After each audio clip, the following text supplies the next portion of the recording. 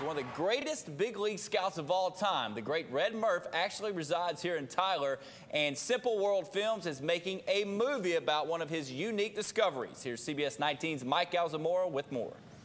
Eric, it was Red Murff who discovered the great Nolan Ryan and many other big league greats, but it was an unusual find back in 1975, which is now on its way to the silver screen as the best hitter.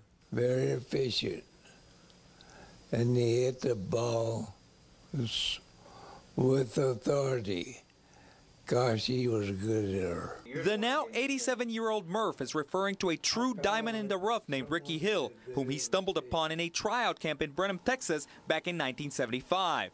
This young man, Rickey Hill, was certainly the best hitter that ever came through one of our camps. Even though he suffered from a degenerative spine disease, Hill went on to play five seasons with the Montreal Expos. His condition eventually ended his career, but none of it would have been possible had Red not given him a chance. What do you think about the fact that, that he, they're making a movie about him and you have a lot to do with that? I feel good. In fact is, Murff almost did not give him that chance. In a similar way as to how Rudy did at Notre Dame, Hill went up to Murff and literally told him he was the best hitter at that camp.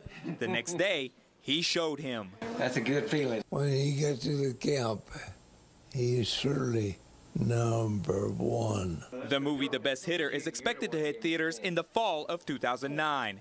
Mike Alzamora, CBS 19 Sports.